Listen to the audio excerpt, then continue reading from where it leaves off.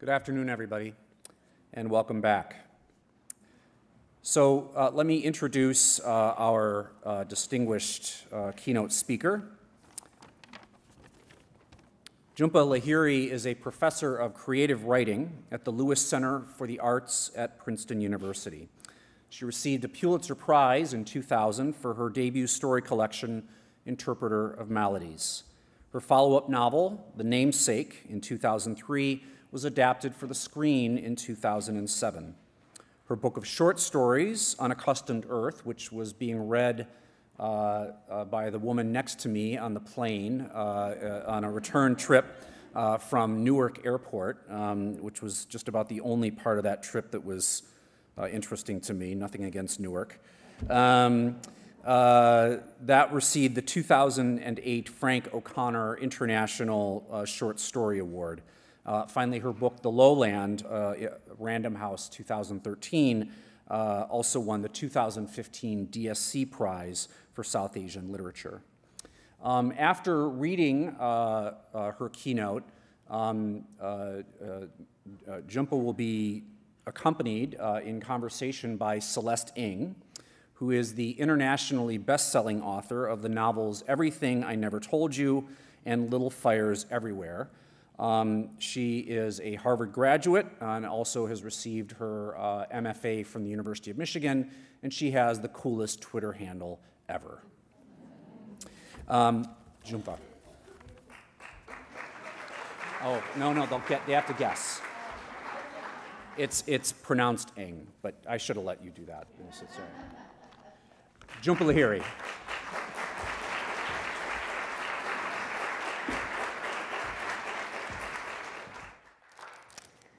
Thank you. Good afternoon. I'm honored to be here. Uh, and, uh, and I want to thank everyone at Radcliffe for inviting me. I feel like I've been in this room before. Is that possible? Um, I think I might have been here um, when the namesake came out. And I, I believe I read here. Um, anyway, I feel very comfortable. That's a good thing. Um, I'm looking forward to my conversation with Celeste. Um, and as a point of departure, I'd like to read a, a, short story that was published a couple of months ago in the New Yorker magazine. It's called The Boundary. This is a story I wrote uh, originally in Italian uh, three years ago when I was living in Rome. Um, and it was published in Italian in the uh, Italian version of Granta magazine, which sadly is no longer in print. Uh, last fall in Princeton, I decided to translate it myself into English, and this is the result. Uh, the, the title of the story in Italian is Il confine, which is the word for boundary, a border, and so I chose the boundary as the English title.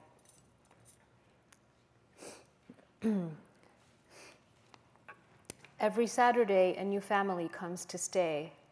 Some arrive early in the morning from afar, ready to begin their vacation. Others don't turn up until sunset, in bad moods, maybe having lost their way. It's easy to get lost in these hills. The roads are poorly signposted. Today, after they introduce themselves, I show them around. My mother used to do the welcoming, but she's spending the summers in a nearby town, helping out an elderly gentleman who's also on vacation, so I have to do it. As usual, there are four of them mother, father, two daughters. They follow me, their eyes wide, happy to stretch their legs. We stop for a moment on the shaded patio that looks out over the lawn under a thatched roof that filters the light. There are two armchairs and a sofa covered with white fabric, lounge chairs for sunbathing, and a wooden table big enough for 10 people. I open the sliding glass door and show them inside the cozy living room with two comfortable sofas in front of the fireplace, the well stocked kitchen, two bedrooms. While the father unloads the car and the girls, who are probably around seven and nine, disappear into their room, shutting the door behind them, I tell the mother where to find extra towels and woolen blankets in case it gets cold at night. I show her where the mouse poison is hidden. Kill the flies before going to bed, I suggest. Otherwise, they start buzzing at dawn and become a nuisance. I explain how to get to the supermarket, how to use the washing machine behind the house, and where to hang the laundry just on the other side of my father's garden. Guests are free to pick lettuce and tomatoes, I add. There were lots of tomatoes this year, but most of them spoiled in the July rain. I pretended not I pretend not to watch them, to be discreet. I do the housework and water the garden, but I can't help noticing how happy and excited they are. I hear the girls' voices as they run across the lawn. I learn their names. Since the guests usually leave the sliding door open, I overhear what the parents say to each other as they settle into the house, as they unpack their suitcases and decide to have what, what to have for lunch. The cottage where my family lives is a few yards away, behind a tall hedge that forms a kind of screen. For years, our house was just a room that served as both kitchen and bedroom for the three of us. Then, two years ago, when I turned 13, my mother started working for the elderly gentleman, and after saving up enough money, my parents asked the man who owns the property if they could add a small room for me. My father is the caretaker, he looks after the big house, chops the wood, works the fields and the vineyard. He looks after the horses, which the owner loves with a passion. The owner lives abroad, but he's not a foreigner like us. He comes every now and then on his own. He doesn't have a family. During the days, he goes horseback riding. In the evenings, he reads in front of the fireplace. Then he goes away again. Not many people rent his house, other than in summer. The winters here are biting, and in spring there's lots of rain. In the mornings from September to June, my father drives me to school where I feel out of place. I don't mix easily with others. I don't look like anyone else. The girls in this family resemble each other. You can tell right away that they're sisters. They've already put on matching bathing suits to go to the beach later on. The beach is about 15 miles from here. The mother looks like a girl, too. She's small and thin. She wears her hair long, her long hair loose. Her shoulders are delicate. She walks barefoot on the grass, even though the father tells her not to, saying, and he's right, that there might be porcupines, hornets, snakes. After a few hours, it's as if they've always lived here. The things they've brought for a week in the country are scattered all over the place books, magazines, a laptop, computer, dolls, hoodies, colored pencils, pads of paper, flip flops, sunscreen. At lunch, I hear forks striking plates. I notice each time one of them sets down a glass on the table, I detect the calm thread of their conversation, the sound and smell of the coffee pot, smoke from a cigarette. After lunch, the father asks one of the girls to bring him his glasses. For a long time, he studies a road map. He lists small towns to visit nearby, archaeological sites, ruins. The mother isn't interested. She says, this is her only week of the year without appointments and obligations. Later on, the father heads off to the sea with his daughters. He asks me as they're leaving how long it takes to get there, which of the beaches is nicest. He asks me about the weather forecast for the week, and I tell him there's a heat wave coming. The mother stays home. She's put on her bathing suit anyway to get some sun. She stretches out on one of the lounge chairs I assume she's going to take a nap, but when I go to hang up the wash, I see her writing something. She writes by hand in a little notebook resting on her thighs. Now and then she lifts her head and looks intently at the landscape that surrounds us. She stares at the various greens of the lawn, the hills, the woods in the distance, the glaring blue of the sky, the yellow hay, the bleached fence, and the low stone wall that marks the property line. She studies everything I look at every day, but I wonder what else she sees in it.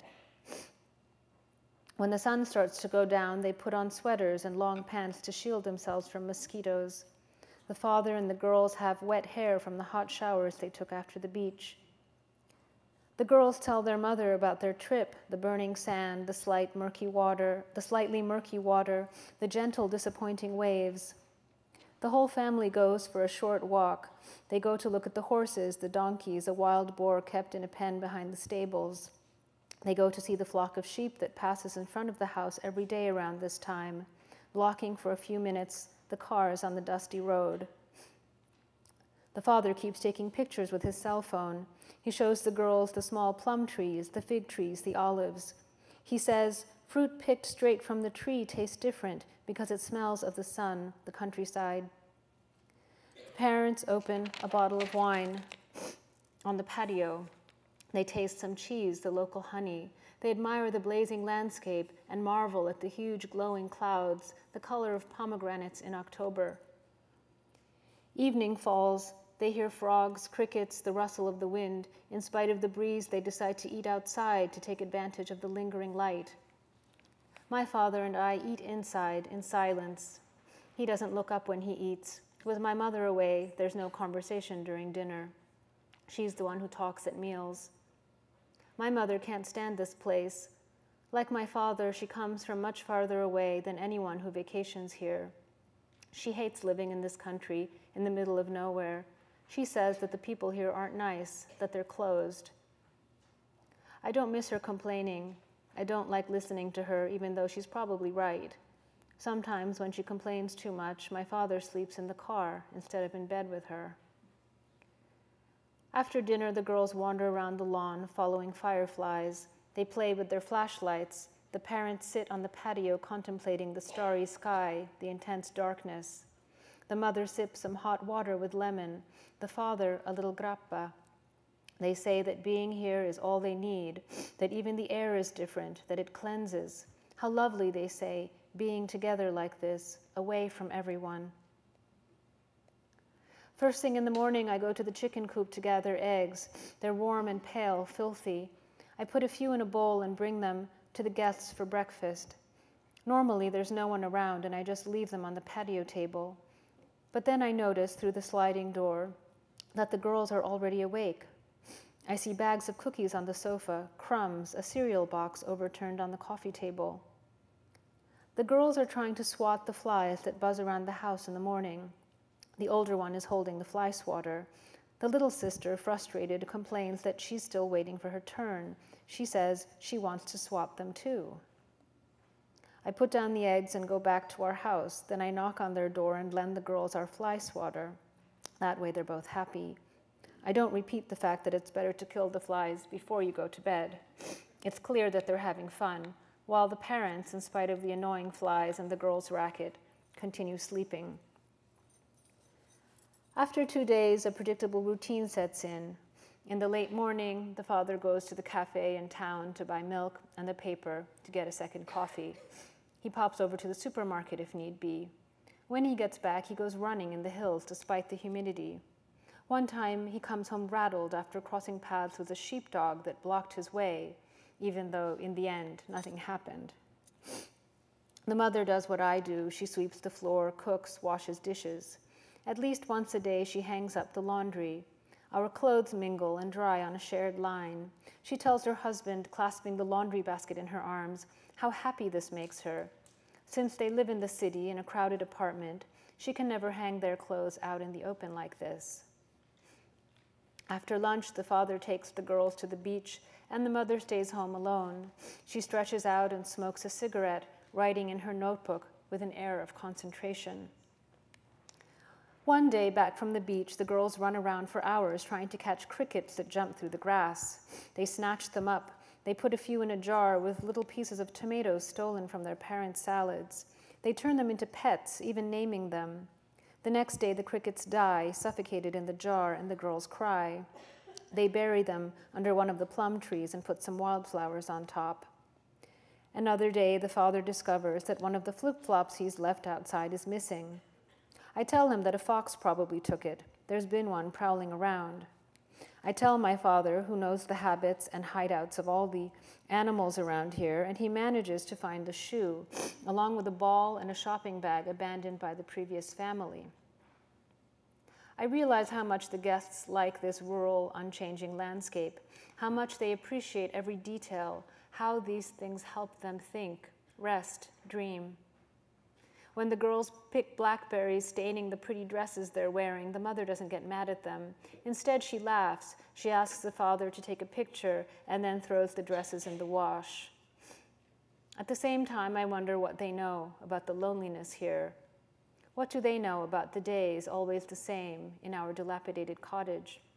The nights when the wind blows so hard the earth seems to shake, or when the sound of rain keeps me awake. The months we live alone among the hills, the horses, the insects, the birds that pass over the fields. Would they like the harsh quiet that reigns here all winter? On the last night, more cars arrive. Friends of the parents have been invited along with their children, who run around on the meadow. A couple of people report that the traffic was light coming in from the city. The adults take a look around the house and walk in the garden. At sunset, the table on the patio is already set. I hear everything as they eat. The laughter and chatter are, are, louder tonight. The family relates all their mishaps in the country the tomato eating crickets, the funeral under the plum tree, the sheepdog, the fox that carried off the flip flop. The mother says that being in touch with nature like this has been good for the girls. At a certain point, a cake comes out with candles, and I realize it's the father's birthday. He's turning 45. Everyone sings, and they slice the cake. My father and I finish up some overripe grapes. I'm about to clear the table when I hear a knock at the door. I see the girls, hesitant, out of breath. They give me a plate with two slices of cake on it, one for me and one for my father. They dash off before I can say thanks. We eat the cake while the guests talk about politics, trips, life in the city. Someone asks the mother where she got the cake. It came from a bakery in their neighborhood, she says, adding that one of the other guests brought it up. She mentions the name of the bakery, the piazza where it's situated. My father lays down his fork and lowers his head. His eyes are agitated when he looks at me. He gets up abruptly and then steps out to smoke a cigarette, unobserved. We used to live in the city too. My father sold flowers in that very piazza. My mother used to help. They spent their days next to each other in a small but pleasant stand, arranging bouquets that people took home to decorate their tables and terraces. New to this country, they learned the names of the flowers rose, sunflower, carnation, daisy. They kept them, their stems submerged in rows of buckets. One night, three men showed up. My father was alone. My mother, pregnant with me at the time, was at home because he didn't want her to work at night. It was late. The other stores around the piazza were closed, and my father was about to lower his grate. One of the men asked him to open up again, saying that he was about to go and see his girlfriend. He wanted a nice bouquet. My father agreed that he'd make him one, even though the men were rude, a little drunk. When my father held up the bouquet, the man said that it was skimpy and asked him to make it bigger. My father added more flowers, an excessive number of them, until the man was satisfied. He wrapped paper around the bouquet, then he bound it up with colored ribbon, tying a bow. He told him the price. The man pulled some money out of his wallet. It wasn't enough. And when my father refused to hand over the bouquet, the man told him that he was an idiot, that he didn't even know how to put together a nice bouquet for a beautiful girl. Then, together with the others, he started beating my father until his mouth filled with blood, until his front teeth were shattered. My father yelled, but at that hour no one heard. They said, Go back to wherever you came from.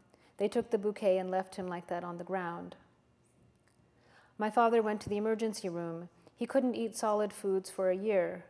After I was born, when he saw me for the first time, he couldn't say a word. Ever since, he struggled to speak. He garbles his words as if he were an old man. He's ashamed to smile because of his missing teeth. My mother and I understand him, but others don't. They think, since he's a foreigner, that he doesn't speak the language. Sometimes they even think he's mute. When the pears and red apples that grow in the garden are ripe, we cut them into thin slices, almost transparent, so he can savor them. One of his compatriots told him about this job in this secluded place. He wasn't familiar with the countryside, he'd always lived in cities. He can live and work here without opening his mouth. He's not afraid of being attacked. He prefers to live among the animals, cultivating the land, He's become used to this untamed place that protects him. When he talks to me as he drives me to school, he always says the same thing that he couldn't make anything of his life. All he wants me to do is study and finish school, go to college, and then go far away from them. The next day, late in the morning, the father starts to load the car. I see four people, tanned, even more closely knit. They don't want to leave. At breakfast, they say that they'd like to come back next year. Nearly all the guests say the same thing when they go. A few faithfully return, but for most of them, once is enough. Before heading out, the mother shows me the stuff in the fridge that they don't want to take back to the city.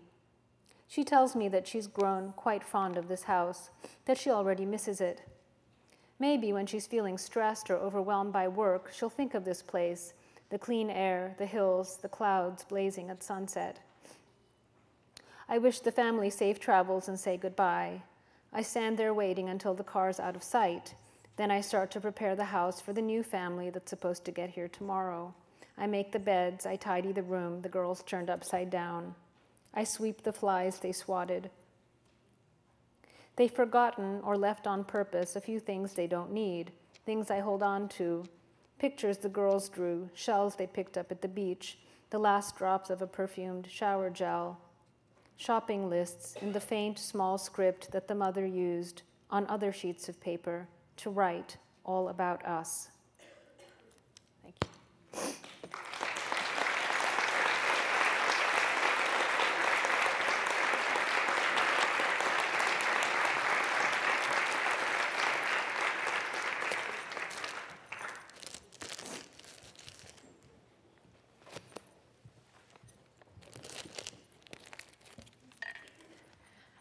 Jhumpa, thank you so much for that beautiful story.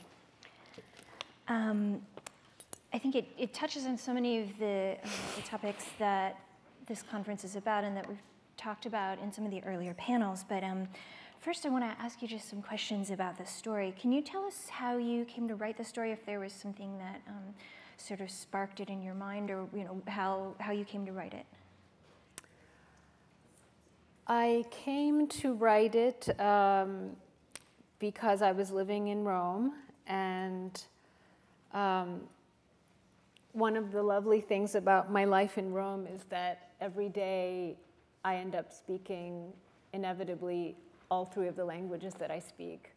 Um, I speak Italian when I go out of the house, I speak English inside the house with my family and I speak Bengali with um, many, many um, people uh, from Bangladesh who uh, live in Rome, who work all over, uh, all over the place in Trastevere, which is the neighborhood we live in. Uh, they, they sell things in makeshift stalls on the street, um, everything from shoes and suitcases to bed sheets and tablecloths. They work in the markets, they peel the vegetables, um, in the butcher shops. In any case, so they, they, they form part of, um, the, the, Bangladeshi community forms part of my, my day-to-day life.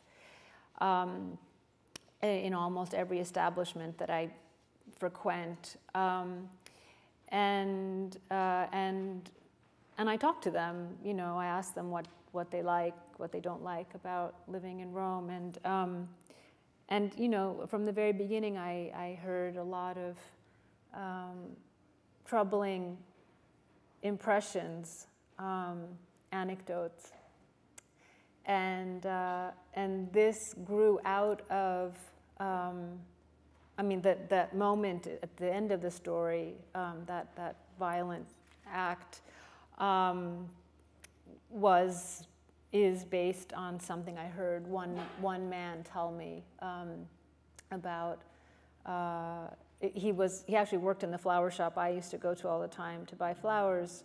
This had happened to him in another neighborhood, not in, in our neighborhood. But, um, and it was something I heard quite early on uh, in my life there, and it stayed with me. And then, um, and then some years later, I was on vacation with my family in a place called Capalbio, um, which is about two hours north of Rome, right over the border in Tuscany, um, but not the sort of Tuscany people think of most people think of um, um, a more kind of uh, Cape Cod like Tuscany, if you will. Um, and we were there, and, um,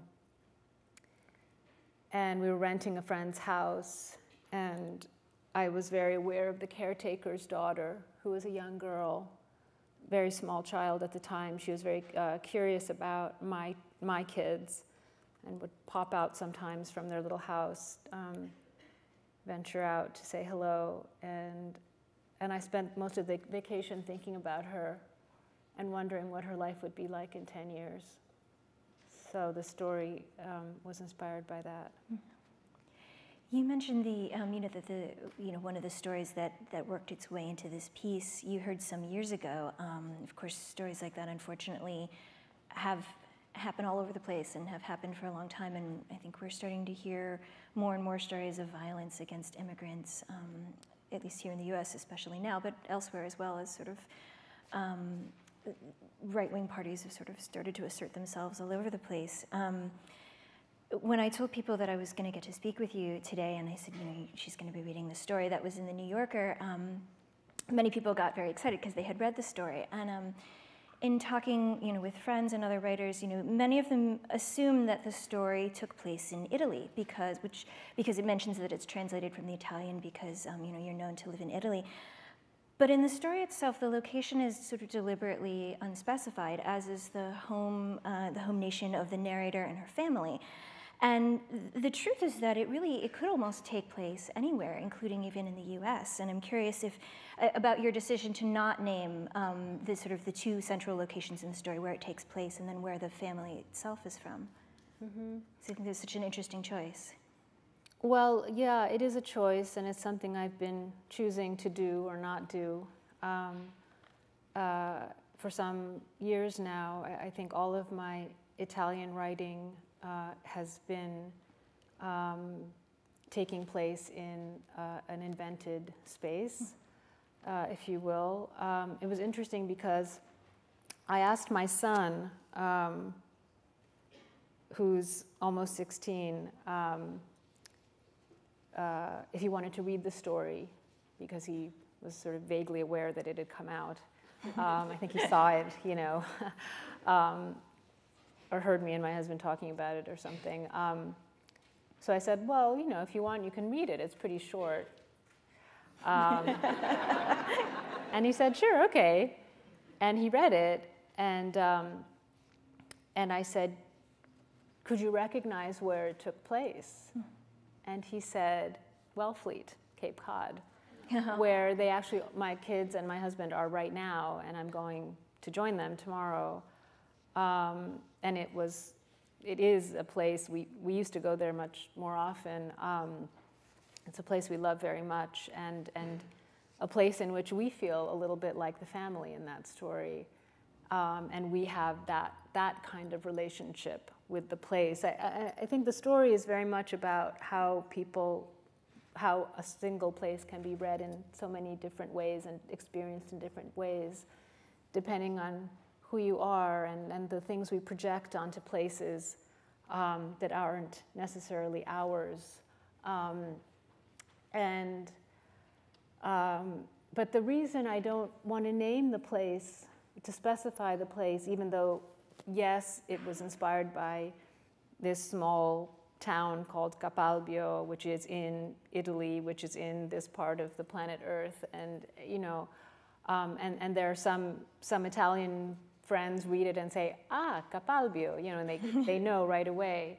And others aren't so sure. But I, I really um, feel very strongly right now about leaving the, the specificity, uh, to, to, to, to, just to leave it entirely open in terms of where the story is placed. And I think this is um, probably um, my own desire to um, liberate myself from, from, certain, um, from a certain weight I feel uh, in terms of being connected to specific geographical uh, and cultural um, points of reference. Yeah. And I think in doing that also, it, like you said, it sort of allows other people to overlay their own sort of experience on it, like your son seeing Wellfleet in there, which is a place that I happen to know as well. And for other people too, I think, you know, to uh, make, sort of make their own meaning out of the story, um, which leads us to sort of the larger questions of the conference. Um, in an interview with the New Yorker about this story, um, you mentioned that you, you do think of this as a political story. You know, they had, I think they had asked you, you know, do you see this as a political story or do you see it as something else? And you had a, a wonderful quote. You said, all my work is about identity, about belonging, and therefore all of my work may be read politically. And I love what you said about that sort of, um, that idea of sort of the point of view shift where um, I think a lot of times people will say that something is political and I'm curious about what your thoughts are about what, what political writing is. Do you think that, that there is such a thing as writing that isn't political? So there's a big question. that is a big question. I mean, I, I think I think certainly most of my work can be looked at through that. I mean, I, am not writing it with any specific intent, um, message, anything like that. But I, but I think it's, it's, it would be naive to not think of that reality. I remember, you know, when I was growing up, um, my father, uh, so my family and I moved to, to Cambridge in 1969, and um, and he would say uh, now and then, "Well, it's thanks to President Nixon that we're here." and I remember growing up thinking, why is my dad saying that? Like, why, why is this even relevant? And Nixon's bad, and why, why do we have to talk about this? But then I realized what he was getting at, that, you know, it's all about laws. It's all about immigration laws. And, you know, it's all about these political realities. It's all about governments making decisions about, about you know, how to negotiate their borders. Um, and so, yes, as a result of that law in that moment and those policies in that time in that year, my father got the clearance to come with his wife and his daughter to the United States, and there they remained. Um, but I think for someone who's actually doing the border crossing, you never lose sight of that, yeah. um, no matter who's in charge in the at the moment, even if it's Richard Nixon. You know, you sort of have that sense of, that weird sense of, of, of gratitude that the door's opened for you. And it is it is political. Yeah, I think it's, it's, it's, what you're saying reminds me sort of that it's very difficult to separate sort of the, the context in which your work is being inspired or is taking place from sort of what the work itself is. And I don't know that that's even necessarily a thing that we, that we want to do. Um, one of the things that I find myself struggling with as a writer is sort of the, as you say, when people view your work through this sort of political lens, um, of trying to figure out sort of what I, as a fiction writer, you know, I spend my day making up stories about people. So I'm, as a friend of mine said, I'm spending my day with imaginary people in imaginary places doing imaginary stuff. And then, um, it, but at the same time, I hope that the, the work that, you know, that I'm creating and that you're creating speaks to the world that we're in, right? And um, being in that sort of strange um, border area has been a thing that I'm learning to negotiate as a, a writer sort of starting out in this.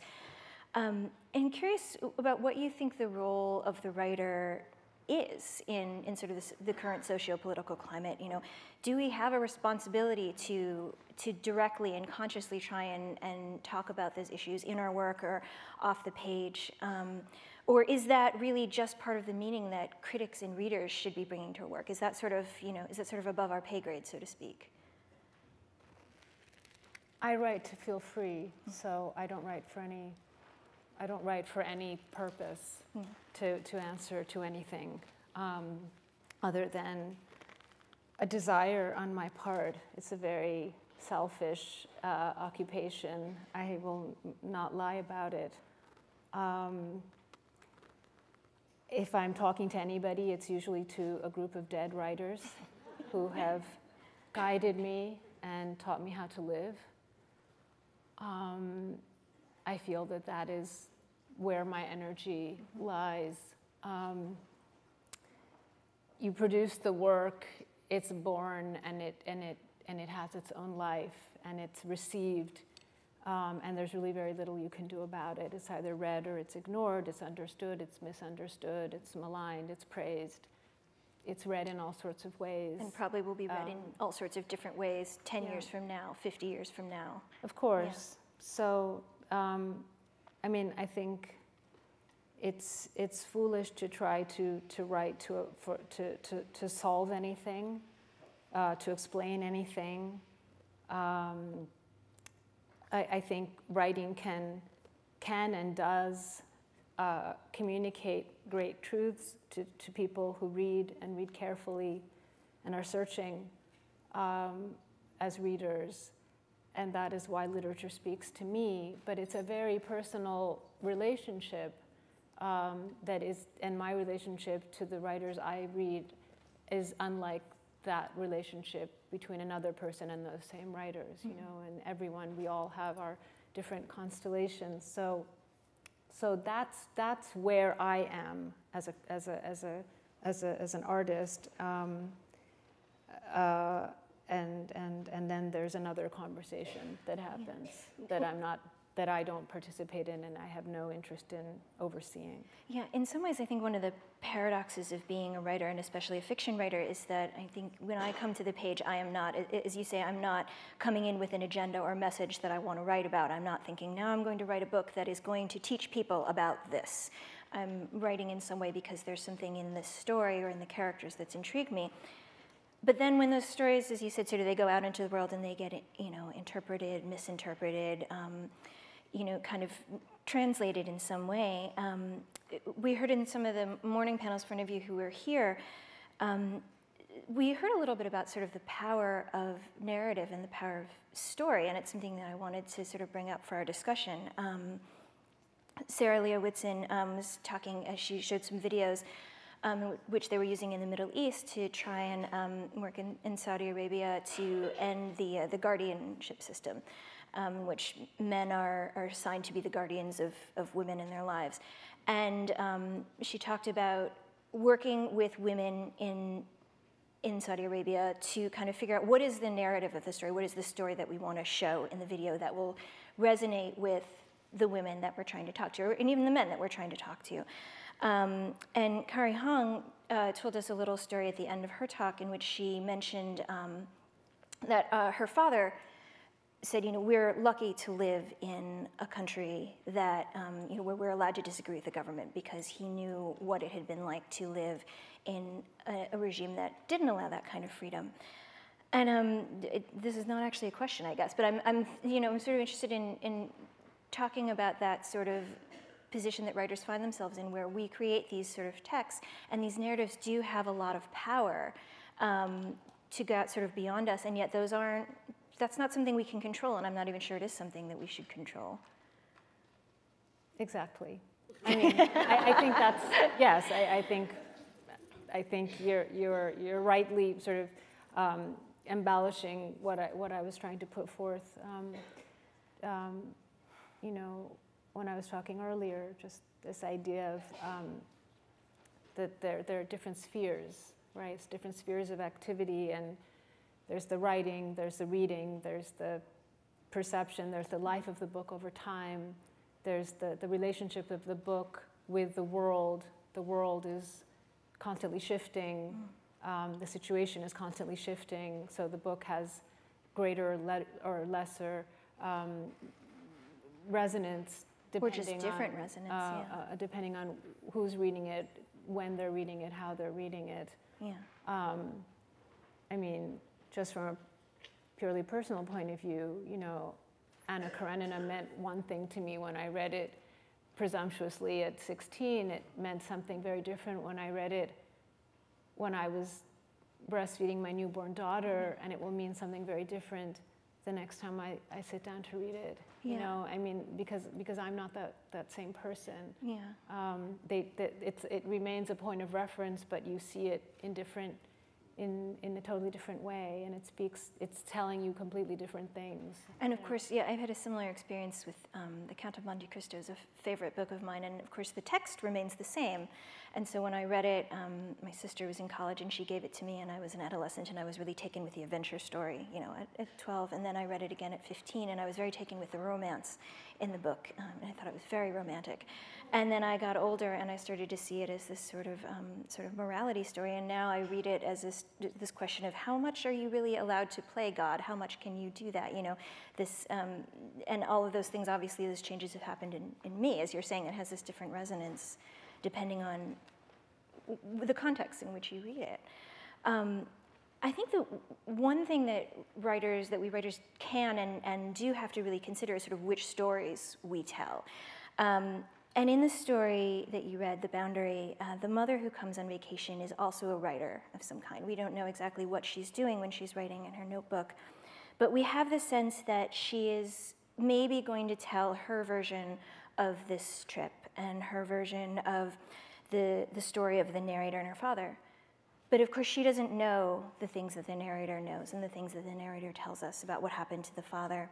Um, and if this mother tells the story, she's almost certainly going to leave out some really important context to the, to the story at the very least. And it, it sort of, for me, raised the questions of, um, you know, who, who should tell the stories, who's allowed to tell the stories. Um, I'm thinking about some of the panels from this morning where, um, you know, questions were raised about, well, if, you are, if we are coming from the West and we are talking to other parts of the world, is this sort of a narrative that we're imposing on them, or in, to what degree do we allow them to tell their own stories? Um, and it's something that I find myself wrestling with in my writing. What, what stories am I allowed to tell? What stories am I going to be good at telling? I'm curious what you think about all of that. Well, I think the writer should have no identity whatsoever. Hmm. Do you think that's possible? I, am trying. Yeah. I'm trying to get to that point. Yeah. Um, but I think, but I think I've always been that way. Yeah. I think I, have never had a, an identity. I've never understood what identity was, hmm. uh, and if I and as whenever I started to understand what it was, it, it, it terrified me, and every time my life seems to take some sort of something more than a penciled-in shape, I run away from it.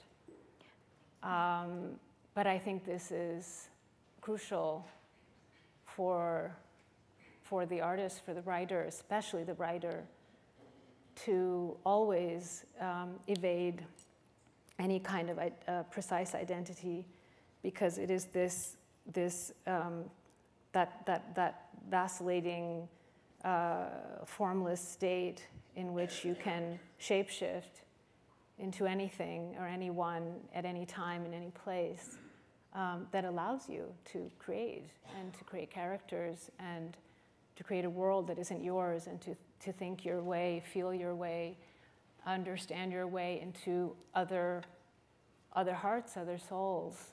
Um, and so that is, that's how I felt as a, even as a young girl, I felt that. And I, and I think because I wasn't a writer then, because I was just a, a child, um, it was a little bit scary because I think um, in some sense, we, we want identity because identity is like a home, it's like shelter. Mm-hmm.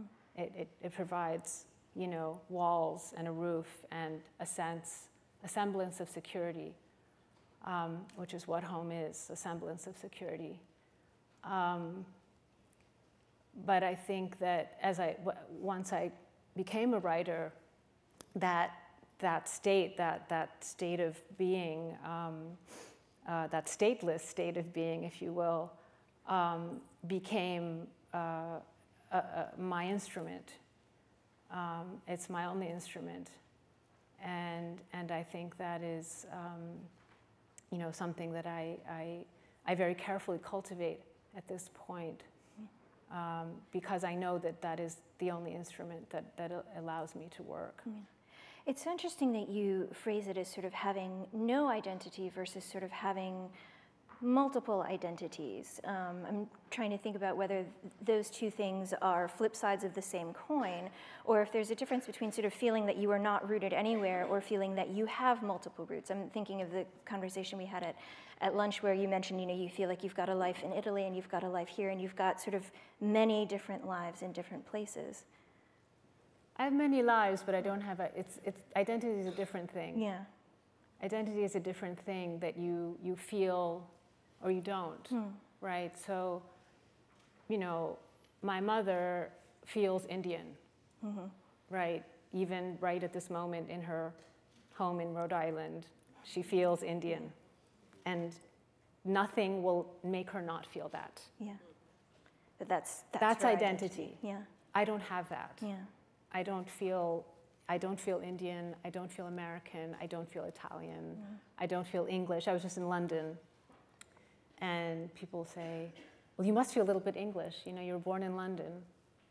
How can I feel English?" I mean, what does that mean? Yeah. Um, I, I, I mean, maybe it's just my own, my own inability to, to connect to, to identity, but I think I've, because of the way I was raised and the world in which I was raised and the worlds in which I was raised, I was, I was always suspicious of it. I was always suspicious of identity. Um, and, and now in my adult life, uh, again, I feel like I have to remain vigilant. Um, but maybe it's just a self protective mechanism because I can say this. I can sit up here and say, well, I don't believe in identity, but I think I also feel I've suffered so much in my life for lacking an identity. Yeah. And it has been a, a, source of anguish for me to lack, to be able to, to not be able to say, I'm this or I'm that. And it's that absence, that, that, that, that, that absence of identity that I talk about um, a little bit in, in my last book, in, in, in other words, you know, where I talk about language. It's that, that, that, that vacuum, that black space, that silence um, that, that was, uh, you know, was a terrifying reality. So I think what I've constructed around that is, is my own, I'm sure it's my own de- defense mechanism, as well as, you know, something I try to embrace as the key for my creativity. It's both things. It's so fascinating. I could feel like I could talk to you about this for another half an hour, but I think we're um, we're meant to move on to the audience questions. And so, um, are there are there question cards?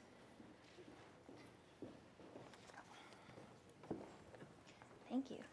Um, all right, this is where I'm going to try to read your handwriting. Um,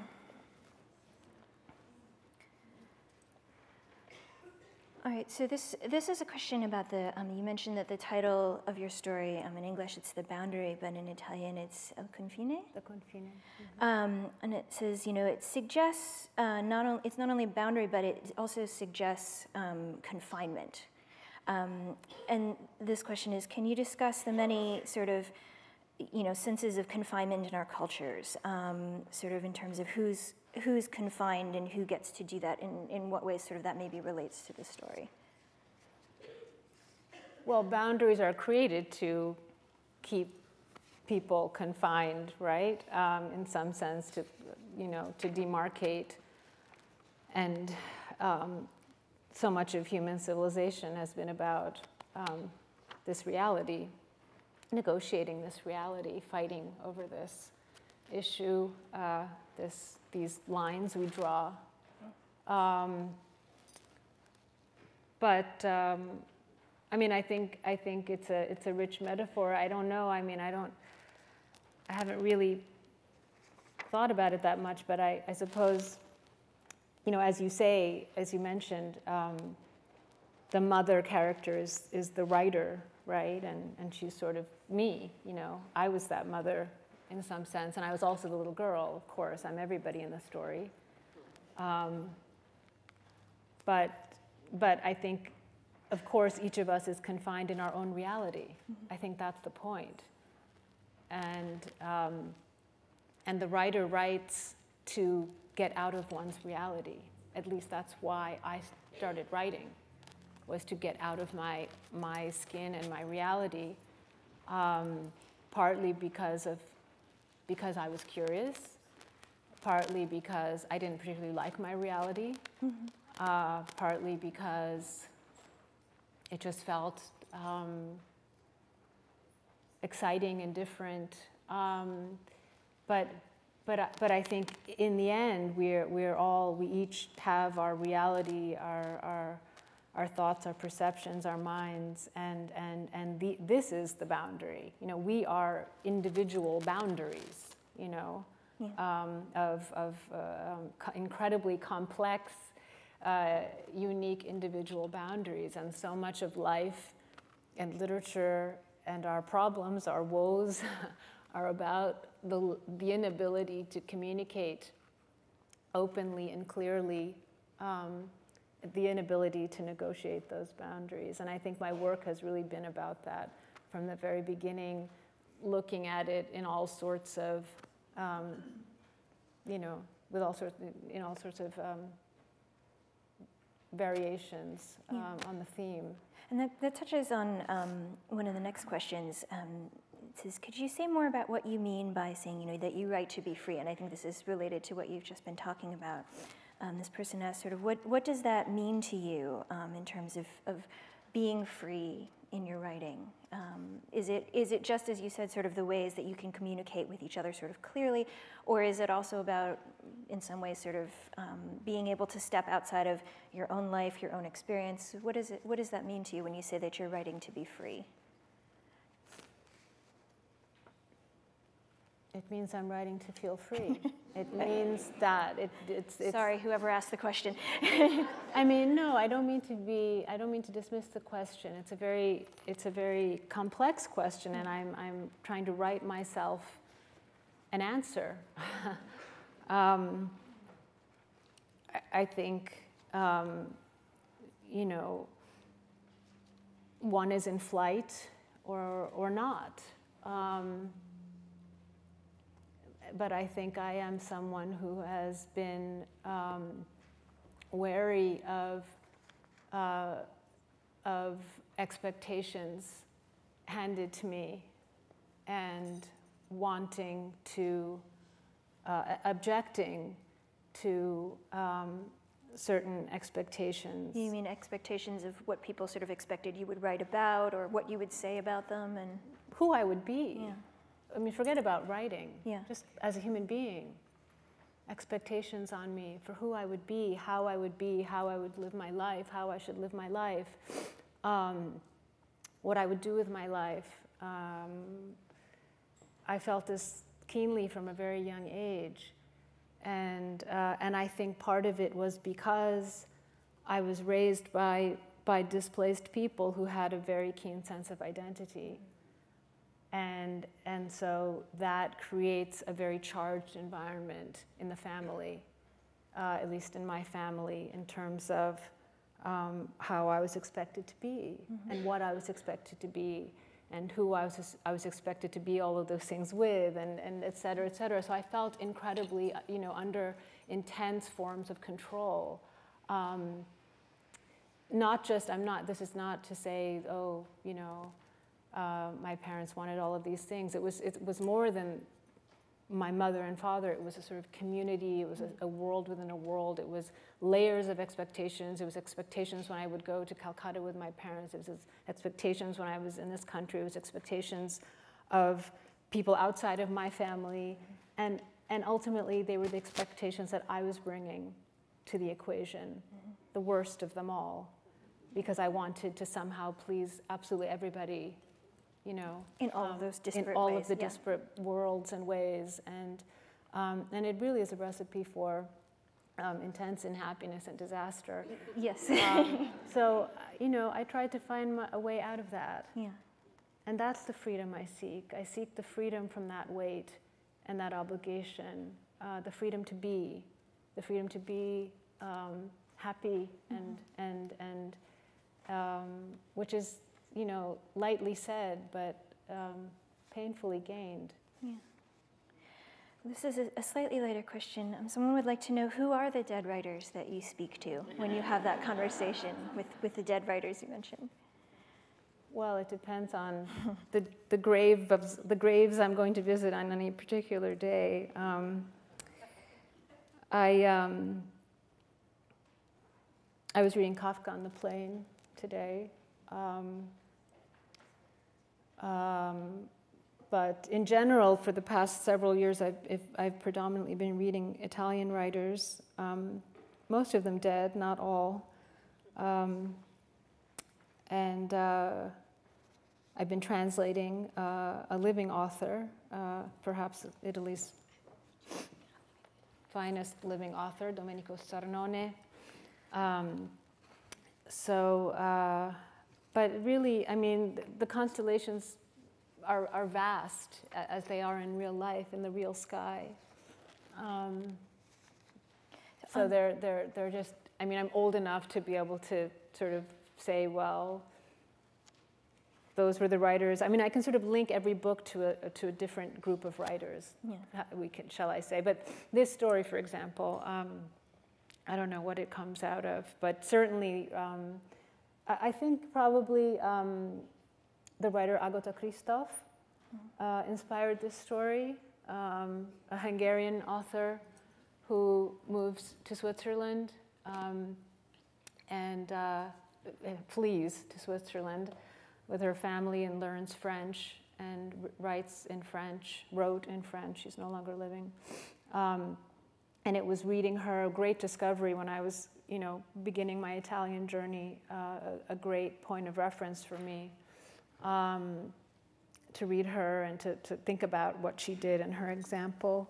Um, so this, this story was inspired by her. When you think of yourself as being, in, you know, as talking to those writers, do you sort of talk to them in your head, or do you see your work as in some ways being your conversation with them? I don't know if it's anything as conscious as that. I, I, I, think reading, I mean, I think, I think reading for me is just a form of writing. Uh, no, that came out wrong. I think writing is a form of reading. I think writing is a form of reading for me. When I was, when I was young, when I was a little girl, I learned how to read around six or seven, and um, and I, I I couldn't read without copying what I was reading in some strange form, almost simultaneously. Um, I don't know why I did that, but I, but that's what I did, and that's how I started writing. So. Um, so that's remained a constant in that if I read something deeply enough, which is, which is how we read when we're, when we're just learning how to read, right? Because we don't know how to, we're not used to it yet, and it's, it's such a revolution. It must be. Um, I mean, it is. It's such a revolution to be able to learn how to read. My God, it's like the best thing ever. Well, it's such a. And, uh, my son is seven, and uh, he's he taught himself to read quite early, but it was this kind of revelation to him, like you said, that there was somebody somewhere else at some other point in time had written down these words and had this idea, and that now this idea was in his head, was this sort of mind blowing idea to him that in some ways he could. He could have their, you know, he could get some semblance of their ideas. Like you said, it's such a, um, a transformative thing. Yeah, I mean, I think for me, the transformative experience was more just the, the pure solace, hmm. the first solace of life is reading and and and then I start to echo, right, what I'm reading, and so even now, um, I feel that that's what I'm doing somehow. Across, I mean, in a very, in a less, I mean, mechanical way, because when I was young, I would read and I would I would read something. I would read Little House on the Prairie, and I would I would then I would write this weird version of the same story, right? Um, I did that also, actually. Had, my mother, my mother recently found sketchbooks in which I had drawn and illustrated little stories. There's little Mary and there's little Laura, Wagons, blonde, right. blue and pink, and yeah. so, but I, but I think as one grows older, and I mean, if and if you be, end up being a writer, then the, the, the, the that back and forth becomes much more complex and layered, and and then there are influences that you're you know, either you're consciously channeling them or you're unconsciously channeling them. You're, you, you know, you, you pick things up, you're not aware. Um, you're not aware of the, all of the particles that are moving around in the room in any given moment. Are there contemporary or not undead, non non-dead, alive writers that you that you have been reading over the, over the past few years? Well, as I said, the, um, Domenico Starnone, um, whose two novels I've recently translated. Um, one is called Trick in Italian, uh, in English, sorry, and the other is Ties. Um, um, uh, I recently very much admired um, the novel by Neel Mukherjee, my friend, who's here with me today, A State of Freedom. We had a wonderful conversation about that novel uh, not long ago in Princeton. Um, but in general, I don't read very much contemporary fiction, um, and at this point, I don't really read fiction in English either. So uh, it's, it's a lot of 19th century uh, and 20th century Italian authors at the moment who are feeding me. Um, along those lines, we have a couple of questions about um, translation. Someone says, Can you talk a little bit about your experience of translating the story that you read? Um, I know that your book, in other words, you wrote in Italian and then someone else translated it, and this story you wrote and then translated yourself. Um, and following on that, someone wants to know, sort of when you translate from Italian to English, you know, did you edit substantially? Um, did you change it substantially? Sort of what was that process like for you? To translate this story? Yeah. Um, it was really weird. it's a very weird thing to, to, to try to translate myself. Um, it's very disorienting. I mean, it's a level of disorientation that is, um, it's like the final frontier in a way. Um, the other day with my family, we, we, we walked out on the breakwater at Provincetown, you know, that final little bit that I wrote about many years ago in The Namesake, um, the novel I'm convinced I presented in this room. Um, in any case, um, and as I was walking this time with my family, uh, my kids now racing ahead of their old parents, my son coming back saying, Can you speed it up, guys? We've reached the end. And anyway, um, but I was going slowly, uh, partly because I was reflecting on sort of, you know, I mean, it was in Provin- uh, Provincetown, sorry, uh, 20 years ago that I really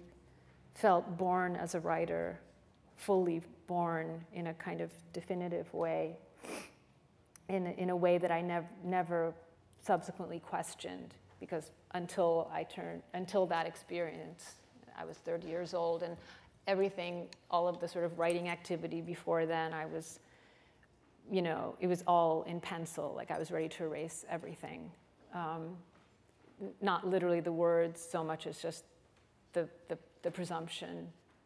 Um, and after that, after that those seven months in Provincetown, something happened and it, I felt that it was ink and not pencil, that I was ink and no longer a pencil.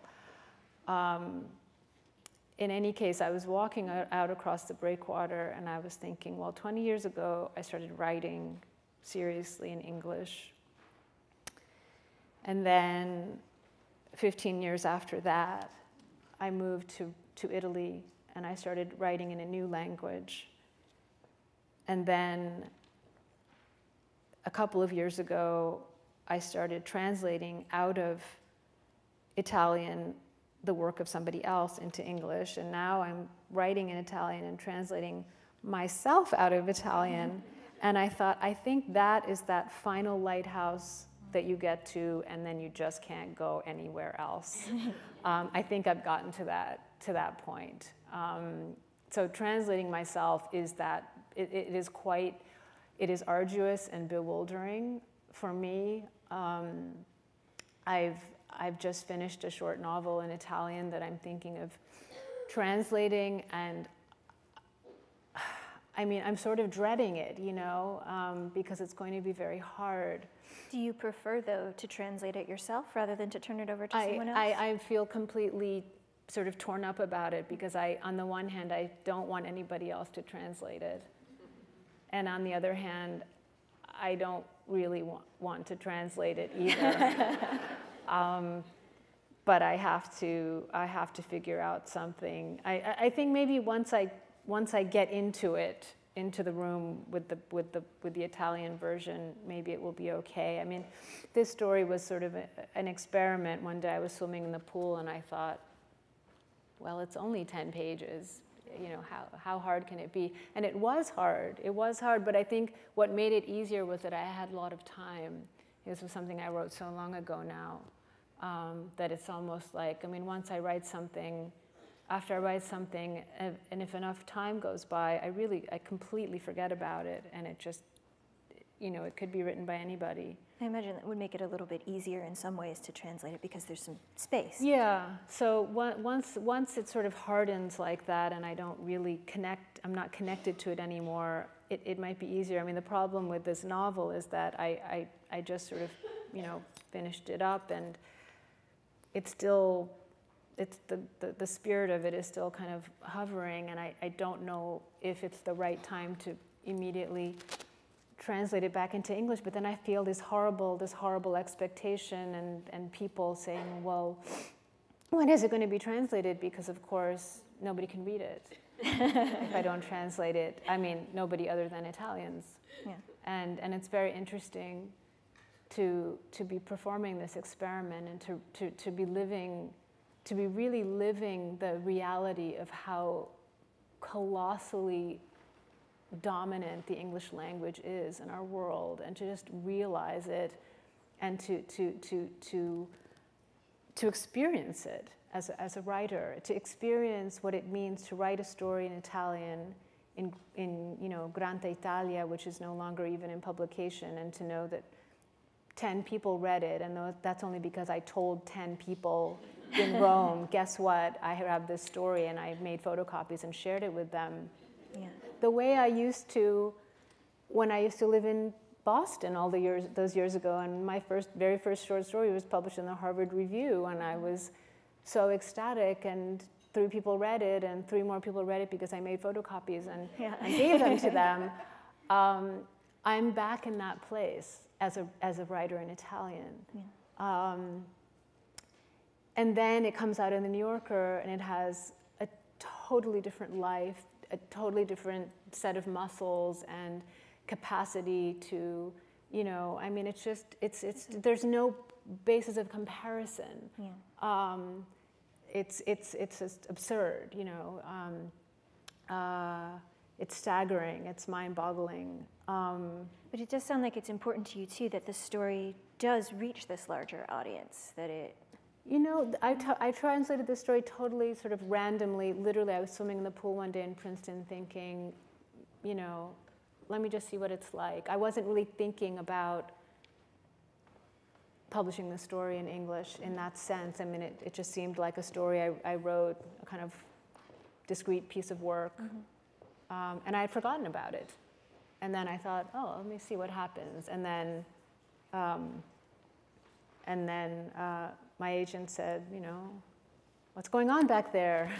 and I said, well, I, I, have this little thing, I don't know. And, um, and the New Yorker kindly published it, but I wasn't thinking about it in that way. I mean, I, I think that's another thing I'm trying to sort of liberate myself from. Yeah. Um, I mean, maybe I'm just completely crazy at this point, but, but, but just the, the whole machinery of, of publishing, editing, I don't know. I'm questioning everything. Well, and that and that I think all those mechanisms are very separate from the sort of the act of creation and the artistic side of it. Um, this may be a difficult question for you to answer, but you might be one of the few people who can answer it because you can read in Italian and in English. I'm curious if the responses were different, if the story was read differently in Italy than it has been read over here in the New Yorker. Not just in terms of numbers, but in terms of sort of meaning or import or the meanings that people are putting onto it? Um, I don't know. I mean, I, I think, I think the story is, is um, as you say. I mean, it could sort of take place anywhere, and it talks about a very, um, you know, unfortunately, rather widespread um, problem, uh, phenomenon in our world about, of, uh, regarding intolerance and migration and, um, and attitudes toward uh, people who are different and feeling uh, out of place and belonging or not belonging. And uh, I mean, I, I think immigration is, is one thing in the Italian context and is a different thing in, in the context of the United States or, or in the UK, for example. There are different places with different history, different reality, so forth. Um, but um, I mean, I, I think I think for the for the I think I'm read differently by Italians in Italian and I'm read differently as opposed to people who know me, you know, the Jhumpa Lahiri who wrote in English and was born as an English language writer. I think, you know, for, for some of those readers, you know, this story comes as a bit of a what happened to her. Mm-hmm. You know, so some people have said, well, but your other stories were were like this, and they were talking about those kinds of things, and they sounded more like that. It goes back to that question of expectations of what people expect you to be. So, so, so in English, you know, there's a little bit more of the before and after comparison conversation more, whereas I think in the Italian context, um, Italians are more um, just sort of uh, benevolently curious about what I'm doing, mm-hmm. you know, and and they're um, they're sort of they're they're they're they're equally um, incredulous, but in a more benevolent way. Yeah. Whereas I think in in the American context, I'm now in a phase where I'm.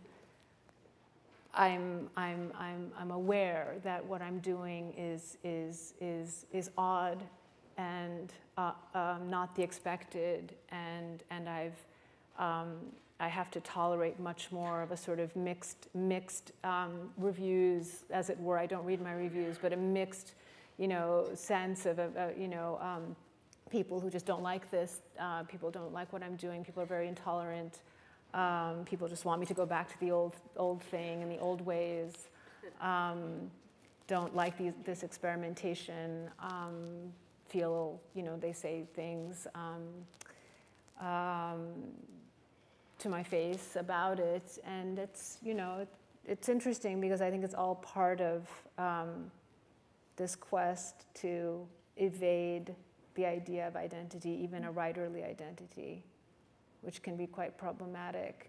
Uh, which I think is problematic. Again, I think the artist has to shun identity. Um, uh, at all costs. Well, it's fascinating to read the story and see your new direction. And thank you so much. Thank you. Thank you.